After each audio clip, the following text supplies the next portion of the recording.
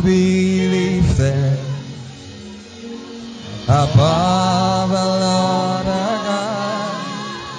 Yeah, we lay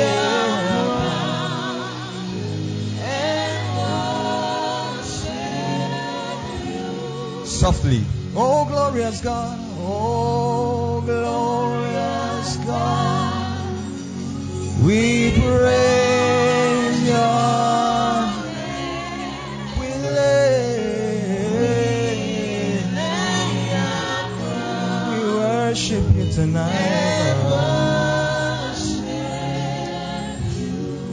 glorious God, say, oh.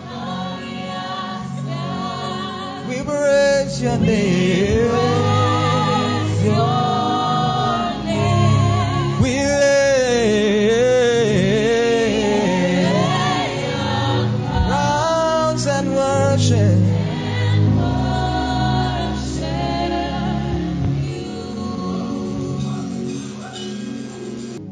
Please be seated.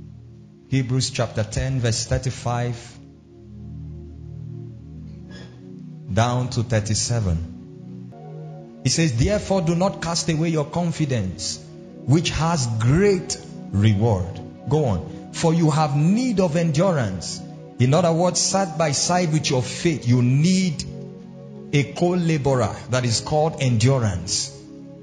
He said, For you have need of endurance, so that after you have done the will of God, you may receive the promise. He said, For he that will come, next verse, he yet a little while, and he who is coming will come and not tarry.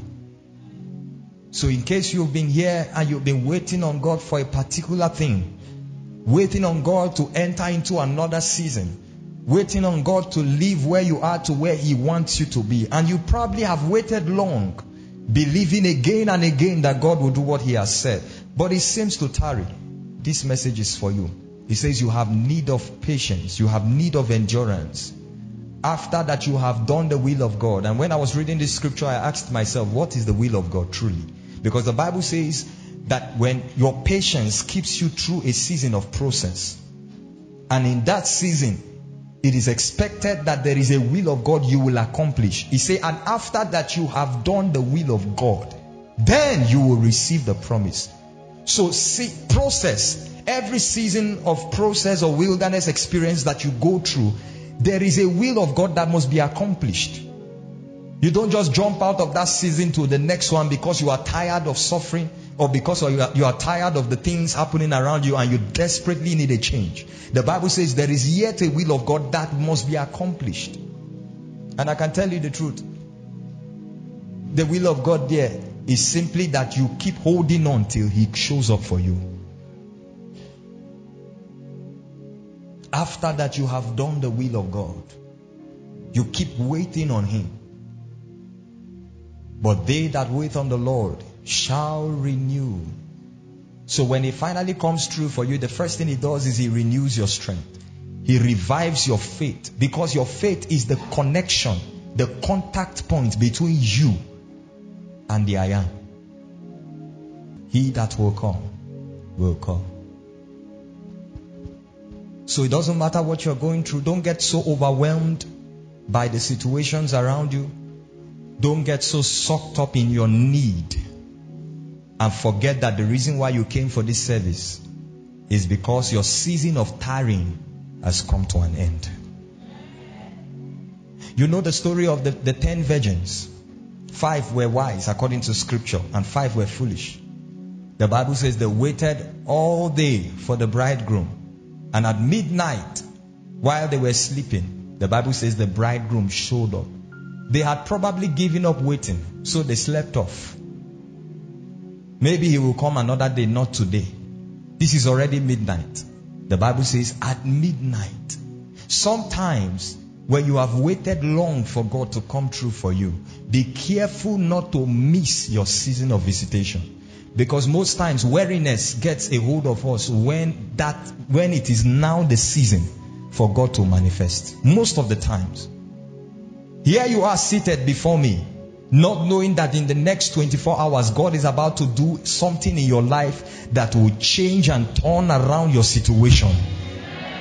Some of you are just hours away from a miracle job that will blow your mind and blow the mind of everybody around you. I'm telling you, some of you are just minutes, hours away from strange kinds of manifestations. How do I know? Because it doesn't even look like anything will happen now.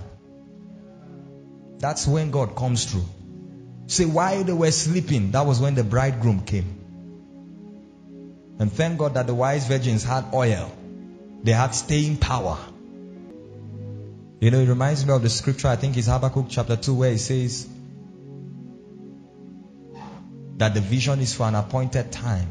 He said, though it tarry, wait for it. Then he says, it shall not tarry. How can you say in the same sentence, though it tarries, and then he says, it shall not tarry? If he did it yesterday, he will do it again today. That's why Thanksgiving is important. Remember? That's the reason why the Bible says enter into his gates with thanksgiving. It is good before you start the prayers or anything, make sure you start with thanksgiving. It is the strategy to ward off complaint and murmuring. All of a sudden, your eyes open up to see what God has done. See what the Lord has done. Oh, see what the Lord now think about all that He has done for you. Think about all that you have received from Him. Think about how He has spared your life. How can you say He is not able to do what He has promised? When He did something for you yesterday, when He did something for you last month, see what the Lord has done. See what. I want you in just one minute to reflect in your mind of the faithfulness, the mercies, the grace and the goodness of God, knowing that if He has done it yesterday, He will do it again today. Has come to pass. See what the Lord has done. Lord has done. Romans chapter 1, verse 16. Let's get to the word quickly. For I am not ashamed of the gospel of Christ, for it is the word power. Somebody say power. The word power there is the word dunamis. It says it is the power of God to salvation for everyone who believes. Take note, take note of the word believes. Didn't say believed in past tense. Believes. He said for the Jew first and also for the Greek. For I am not ashamed of the gospel of Christ. Why? The end is because it communicates a power that is able to bring a man into the salvation that God offers. He said, For it is the power of God unto salvation. So when this message of the gospel is received and believed by an individual, it brokers an economy of the power of God made available for that individual. And that power made available is capable, it has the potential of translating the entirety of that individual's life. Not only does it forgive your sins, but it brings you out of sickness into health. It brings you out of destruction and guarantees deliverance. It guarantees preservation. It guarantees sanctification. Everything that you need to be free and to live in peace is what it guarantees you. For it is the power of God unto salvation. That means, therefore, that any Christianity that is professed or practiced denying the end point, which is the power version or the power dimension of it, is not Christianity. So you may not have the car you are believing God for. You may not have the admission you are trusting God for. You may not have the spouse that you have been praying and believing God for. You may not have physical evidences around, around your life that communicates the reality of the power of God. But there's something growing in your spirit. You can sense it inside of you that there's a transformation going on. And it's only a matter of time that what is inside of you called dunamis will become a living expression. For it is the power of God unto salvation. Psalms 103 from verse 2. He said, Bless the Lord, O my soul, and forget not all his benefits. Then he begins to list the benefit from verse 3. Who forgives all your iniquities. Is that good to hear? But it doesn't end there, it goes on. Who heals all? Somebody say all. Do you notice that there is a similarity between these two statements? Who forgives all your iniquities and heals all your diseases. That means the same power that can forgive you of all your sins is available to heal all your diseases. God will not heal one sickness and leave the other one. No way. More benefits of salvation. Who redeems your life from destruction? Look at this. That's why I like that song. When I am down, I know my soul the weary. When trouble comes and my heart burning deep, now I am still waiting in the silence until so you may be down, but you are not out. You keep waiting on Him until He comes through. You raise me up, you raise me up, so I can stand on mountains.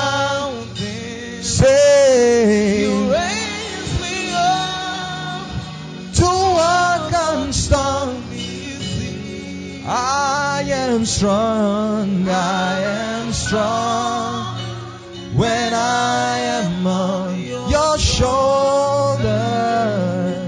You raise me up to more than I can be. I like the last line of that song. You raise me up to more than I. Paul said, We are pressed on every side but not crushed. We are persecuted but not abandoned. We are cast down but not out, not destroyed. That's why it is, it is bad when anybody gives up on you. Maybe not for other individuals, but it is, it is risky to give up on a believer. Struck down, he said, but not destroyed. Always bearing in our bodies the dying of Jesus Christ, that the life of Christ may be revealed he said, Who redeems your life? Go back to that scripture from destruction. There were sicknesses that would have killed you before now. Even you, you knew. Many times you saw dead people while you were on that bed. But how you are alive today and the same organ they said had failed and it is still working is a question only God can answer. Who redeems your life from destruction? They threw Daniel into the lion's den. He was as good as dead.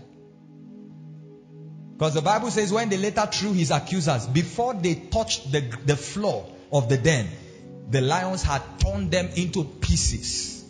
Though he was in the den of lions, yet he was not destroyed. That's what the Bible calls redemption. Who redeems your life from destruction. Joseph was in the pit, but he didn't die of thirst. Came into Potiphar's house, they threw him into prison. He was not forgotten there.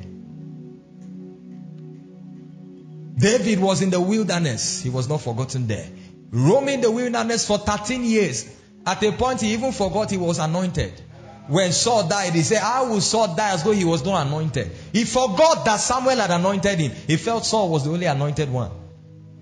But the Bible says in Job chapter 23, I believe in verse 10, he said, For he knows the way that I take. Verse 10 or verse 12. He said, After he has tried me, I shall come forth as gold who redeems your life from destruction. What did, it, what did God tell Satan when he came to argue his case on Job? He said, Touch everything around him, but spare his life. Who redeems your life. Some of you have seen accident face to face. How your boss escaped it is, is something that God will answer when we get to heaven. Some of you have come out from a tricycle that tumbled upside down, wrecked. And how you were standing is only God. How about arrows by night and day? How about all kinds of witchcraft manipulation? Don't you know that they are where they are now in their coven, surprised that you are not dead by now? Who crowns you with loving kindness and tender mercies to redeem you from destruction is okay. But you can be redeemed and be poor. You can be redeemed and still have to pay debts. That member of your family was sick. Finally, the person was healed. But remember, you spent your life savings as a family. Now you are in debt. Is God going to leave you like that? The Bible says, Who crowns you with loving kindness and tender mercies. You know the meaning of these two sentence, these two words? Favor. That's what it means. Loving kindness. Kindness that is loving. Let's go on. He said, Who satisfies your mouth with good things so that your youth is renewed like the eagles. Brothers and sisters, what kind of food do you eat that makes you grow younger? In this our world. Your food has not changed though. It's still gari that you eat and rice. But you are looking better and younger than even those who seem to have everything. The Bible says the little that the righteous have is better than the wealth of the wicked. You know why? Because your own is mixed with grace. Oh yes. They say we have six classes of food plus grace, seven. Yes. That's the reason why when we pray for food, they, they call it saying the grace. And you pray, you bless it, you say the grace over it. You add grace to that food. Just the way you add salt to food to taste. And you know what grace is? Somebody once said, Grace is God's riches at Christ's expense, paid for. So it's the same food you are eating, but you are growing younger. It's the same food you are eating, yet you've not taken an injection this year. It's the same environment mosquito is biting everybody there, but you've not gone to the hospital. You are alive and well. The person who slept under mosquito net is the one sick of malaria. You that don't even have a net on your window, it's open heavens. You are, you are trusting God. Do you know open heavens?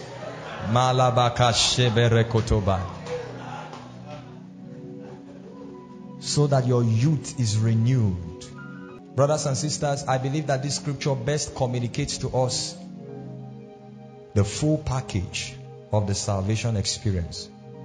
But I came tonight to challenge you because it is time for us not just to realize that the power of God is perhaps the most important component of the gospel. The ability of God that empowers a man to become like God, to express the life of God, to make you a sign and a wonder.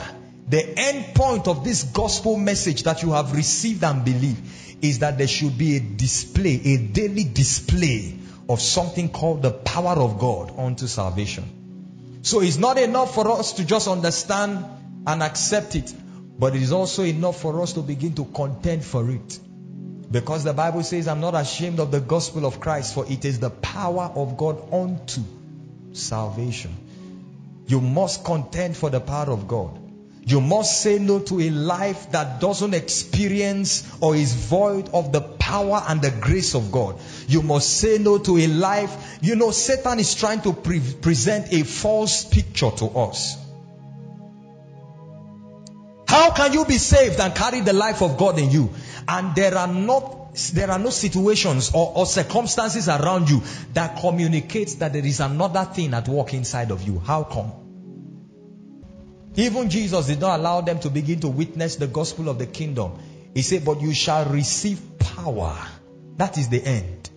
That was why he stayed with them three and a half years. Even when he resurrected, he came back and was teaching them for 40 days. He was preparing them for an economy of the kingdom that they will receive on account of the Holy Spirit's coming. It is called power. It is like that is what seals up your Christian experience. Do you know that even when we are done on this earth, what we call the rapture experience, when the Bible says that corruptible will put on incorruptible, that means those who have died will be resurrected in a new body. And this mortality will put on immortality. Those of us alive, we will be clothed with our immortal body. The kind of body that Jesus had when he resurrected. Do you know that it will happen by power? The Bible says in Philippians 3 verse 20 to 21, it says, For our citizenship is of heaven, from whence we look to our Savior, who is able to transform our lowly bodies. He said, by the same power with which he subdues all things. Is that what verse 21 says? By the same power. According to the working, the word working there is the word energeia. It is the highest form for power in Greek language. It means that not only are you overwhelmed with power, but you now become a reservoir of power. It is you, you are giving it on a daily basis. Remember that the Bible calls Jesus the life-giving spirit. And remember that you and I have been born of him. We have been begotten of his kind. So we too are also life-giving spirits. Eh, for every time that God uses you to wrought a sign and a wonder, what should, what happened was that you gave a measure of power out. That word there, walking, is the word energeia. It's the highest form for power. So we must, we must convince ourselves that you were saved to live a glorious life. You were saved to experience the fullness. It was supposed to be an adventurous lifestyle, not this beggarly and weak life that is, that is presented to you by the situation of Nigeria. Not this lie in form of a life that Satan has forced you to believe. No. You were not created to be weak and beggarly. You were created as a vessel of power. You were forged by power. You were made by power. And you must live by power. In one scripture, it says of Jesus, it says, who lives by the power of God. Romans 1 verse 3 says he was declared to be the son of God with power. Somebody say power. He didn't just say Son of God, he said he was declared to be the Son of God with power according to the Spirit of holiness. There is so much that the power of God can do in the life of a man. It has a way of bringing transformation that cuts across your spirit, soul, and bodily dimension. It is power that causes changes in the natural. If things will change in the physical, there must be an introduction of power. And the Bible says, once has he spoken, and twice have I heard that power belongs to who? Thank God that it doesn't belong to the enemy. So what makes a, a weak and a beggarly life? When you find a Christian experience that is a toy in the hands of the devil. When you find an individual who professes the name of God, but is still subject to circumstances and situation around, is because there is a missing element of power. And until you get that power, you can't live as a king and a priest on the earth.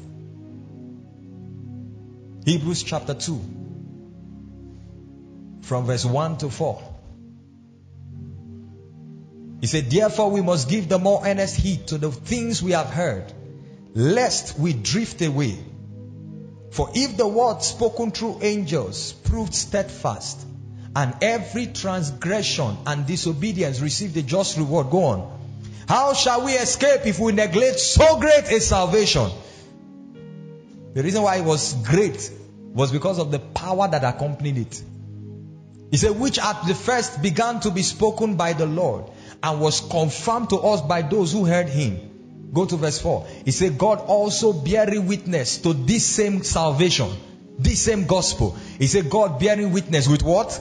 Signs and what? Wonders and what? Various miracles. It doesn't end there. And what? And gifts of the Holy Spirit.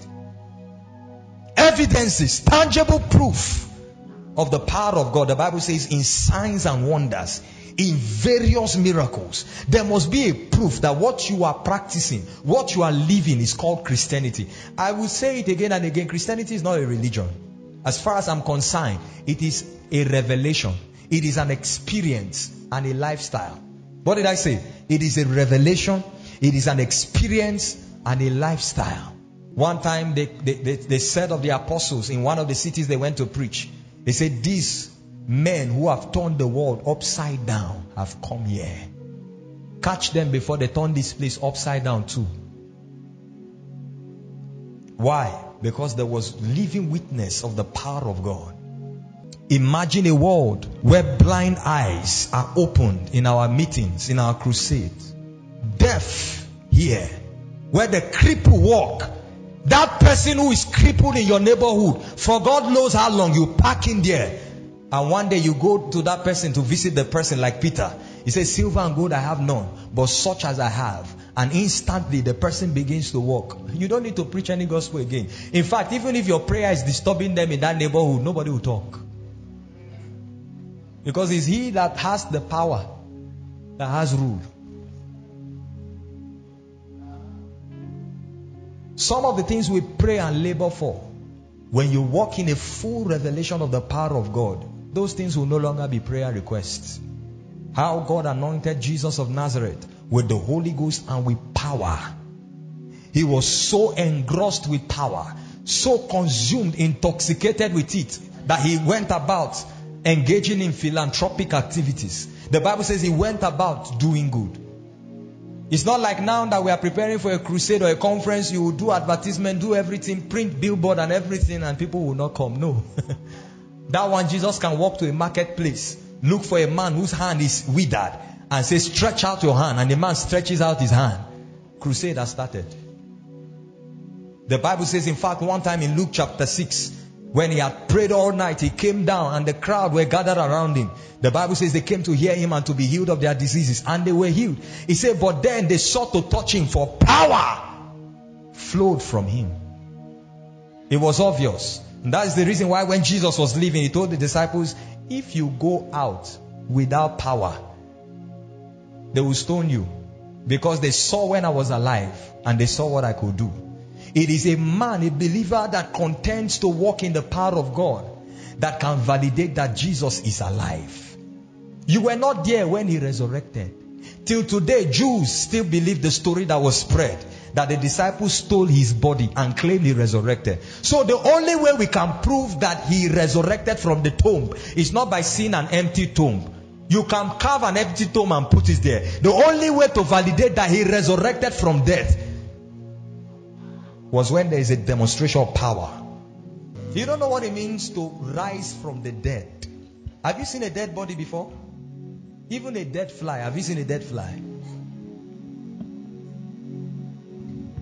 Go online. Uh, maybe if you are lucky, you can see it on YouTube. Harare Miracle Crusade by God's servant, the late Archbishop Benson. Aye. See, eh? There will be no explanation as Nigerians. We will not have any explanation to God if we continue like this till Jesus comes. Go online, you can search it. You will be lucky if you see the, vi- the video. He went for a crusade in Zimbabwe, Harare, fire conference, miracle conference, or fire conference, that's what they call it. They brought a woman who was dead.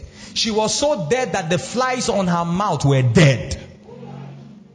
And as soon as the man of God began to declare, all of a sudden, the flies on the woman stood up and started going around. So the resurrection caught the flies first. Then the woman stood up alive. What kind of message do you preach again? Is Jesus alive? Yes. Prove it. Your generation will ask you one day.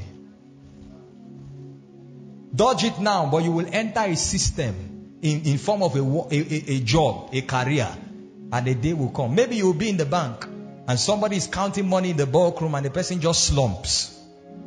So you will join them and look for medical personnel. Or that you will go there and hold the hand of that lady and say, Talita Kumi. Let them know that all that is def- your definition is not just standing behind the counter. You see, we think that walking in the power of God is only exclusive to believers. That's the reason why uh, it's only exclusive to pastors, to ministers. That's the reason why believers don't mind living carnal lives and entering into society. But let me tell you the truth. It's in society we need the power of God more. Those of you in the business sector, in the banking sector, do you know the, the, the, the, the fortress of darkness that is in that place? You go for a political campaign, and while you are there declaring your manifesto, the person who is speaking just falls down and begins to bleed in his mouth. And you want them to vote your party. Next thing, newspaper will carry it that you people are ritualists. Until somebody in that campaign say, No, I may be a politician, but I have an economy called power. Eh? We can salvage the situation and return back to the speech. Go online and look for that conference, Harare Fire Conference. Mighty things that God did there. I don't know. Kai. I will ask the Lord Jesus one of these days. I want I want Archbishop Benson Idahosa to appear to me. I want to ask him some questions. What did you know as a man? Listen, you came tonight, not only will you see God move in your life in the short time that we have, but you are going to live here with a deposit of God's power. It's time to go back and challenge those demonic forces around your family. It is time to challenge those witchcraft attacks around you. It is time to pursue the oppressor. Like somebody will say, you pursue the pursuer and you oppress the oppressor. The, the Bible not say in Isaiah chapter 9 in verse 5, it say you have broken the staff of the oppressor as in the day of Midian. All of those dreams you have and you are oppressed. It is time for you to go back and sleep and in the dream you are the one fighting. Recently I had a dream. I finished praying, I went to sleep. And I had a dream and I was beating some people. And I was afraid. I said, why, am I this wicked in a dream? It's not wickedness. Oh. Some people need that. Go to my last scripture and then we'll pray. Psalm 66, verse 3. We've played too much with the devil. We've toyed too much with him. We've allowed certain situations to mock our God for too long. It's time for us to arise. He said, Arise, shine, for your light has come. You arise. Psalm 66, verse 3. He says, Say to God, How awesome are your works. King James say, How terrible are your works. Through the greatness of your power, your enemies shall submit themselves to you. So, how do you conquer the enemy? One word. Say it again. That's all. I believe in authority, but authority cannot manifest until power has cleared the sin. Through the, through the greatness of your power. Therefore, God has highly exalted him and given him a name that is above every other name. That at the name Jesus, every knee shall bow. Sickness shall bow. Poverty shall, even poverty responds to power. Let me tell you the truth. Eh? I believe in buying and selling. I believe in the transactional side of wealth. But do you know that the power of God can bring you into an economy of wealth that natural laws cannot explain? The widow went to Elisha, said, They are coming to take my children as, as, as, as debtors. He said, What do you have? Oil. He said, That's enough. Go and borrow vessels. Every time there was famine in those, those days, they just went to the prophet. They didn't go to the minister of agriculture or the minister of the economy.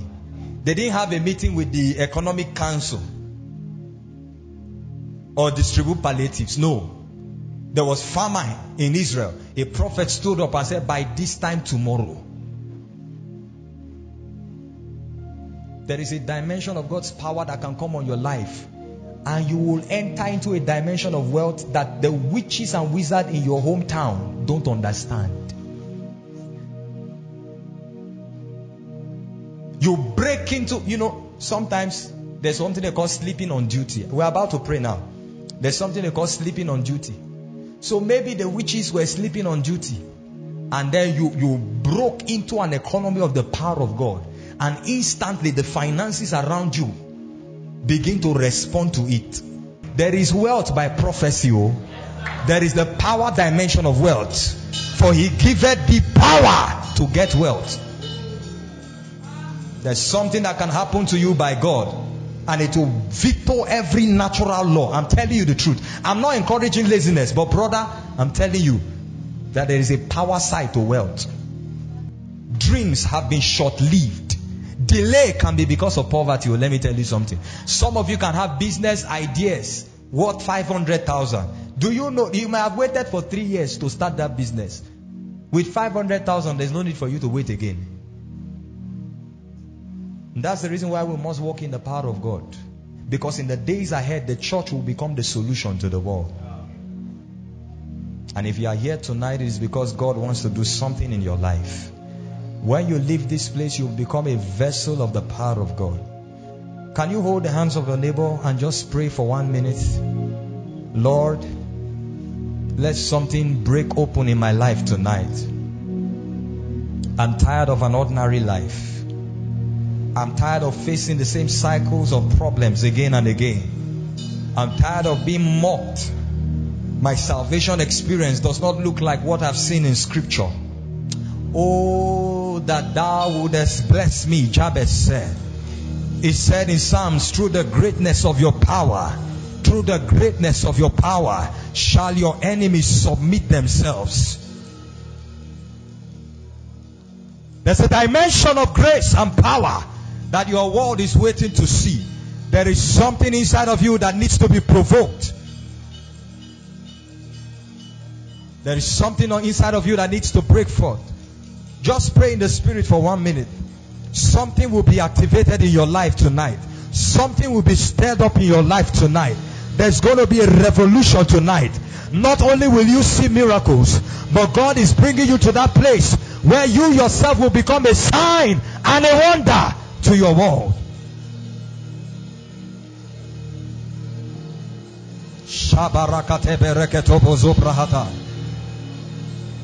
Just preach your name upon me, breathe. Just preach your name upon me, breathe. Yod is your name, breathe, Lord. Just preach your name upon me. Some of you need to cry and say, Lord, what I want tonight is a dose, a dose of your power. I'm tired of living an ordinary life. Make me a channel, a vessel, a contact point. Nations are waiting for you. Your world is waiting for you. You were created as the solution to the crisis around you. Oh, but that you will arise tonight and that Christ will give you light. That Christ will give you light.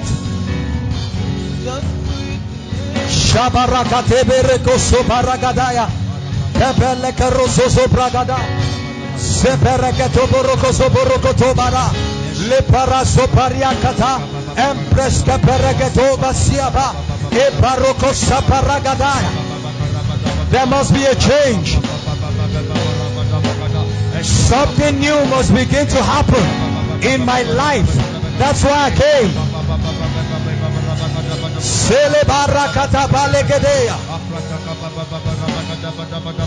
Yeah.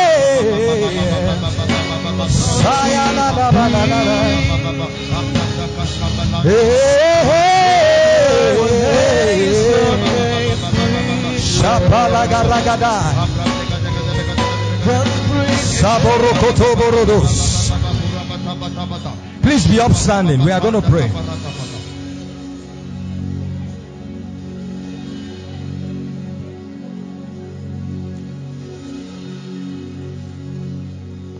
Can we pray for five minutes? How many of you have experienced situations in your life where it's like you are going through a stubborn cycle of pain, of reproach, of lack? The more you are trying to go, come out of it, is the more you seem to slip in. How many of you have experienced that before? I want to show you one of the ways to be able to break free from those cycles. One of the ways to come out of a wilderness season. There's something that you must learn to do.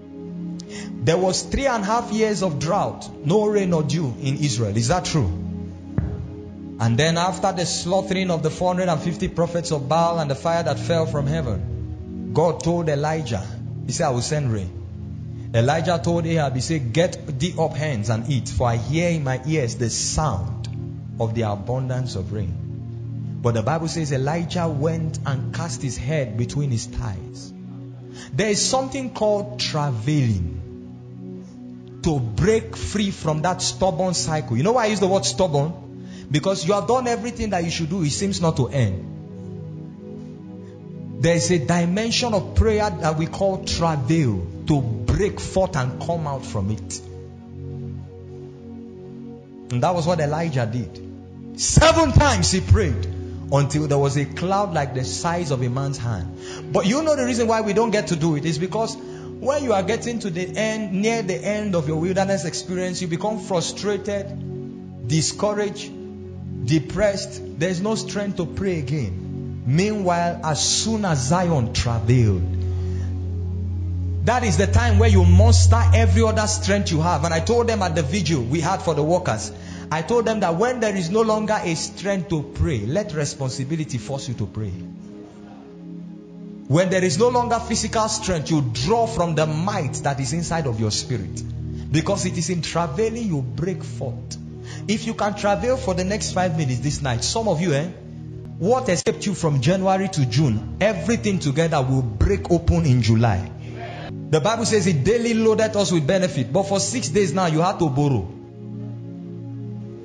Don't you know that there is a travailing you can do in prayer that will force compliance it has been written, but for it to manifest, there is a travail that you must engage in prayer.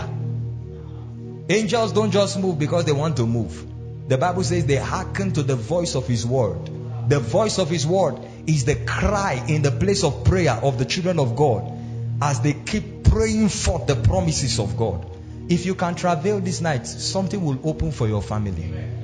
Psalm 71, verse 21. We are going to pray two prayers and we are done and I'll minister tonight. The fire of God is in this place. Psalm 71, verse 21. I want you to read it. It's on the screen at the count of three. One, two, three. You shall increase my greatness. You shall what? Increase my greatness. You have celebrated where you are for too long. It's time to increase. He said, and comfort me on every side. If not, you will be in trouble. Because every blessing introduces you to a new level of warfare. But when it comforts you on every side, you will be like Solomon who said in First Kings chapter 5. He says, So God has given me rest on every side, so there is neither adversity nor trouble. Is a realm. Are you ready to pray? I want you to hold this scripture and I want you to cry your heart out as if the heavens will literally tear over you right now. Lord, Lord, increase my greatness. Comfort me on every side. Raise your voice and pray. Come on, come on, come on. Lift your voice. Lift your voice. Lift your voice. Lift your voice. Lift your voice. Thou shalt increase my greatness. Somebody is praying. Thou shalt increase my greatness and comfort me on every side. It's time to ascend to a higher dimension of grace, a higher level of the anointing.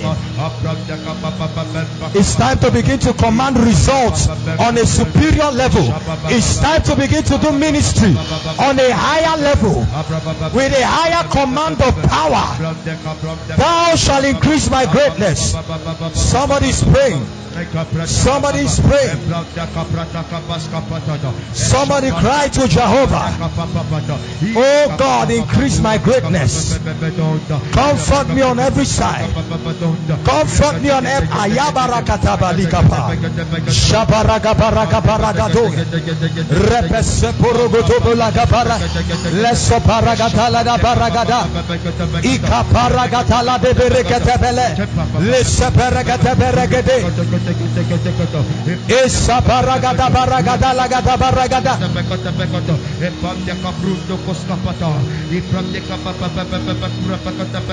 pacata pacata pacata, epamdia cuapatapa, eshapamdia cuapatapa, pramdia capapa papa rupa coto. La baragada se coporogodo. Passa barada capa. Ele berekete basoborogodia. I barabaka baragada baragada baragada. Shaka baragada la da barada. Somebody cry to Jehovah. The God that answers by fire must answer you tonight. Kabaraga Rabala de Belorogo Bozozo. Ebo Sabata. Iparusia. Thou shalt increase my greatness and comfort me on every side.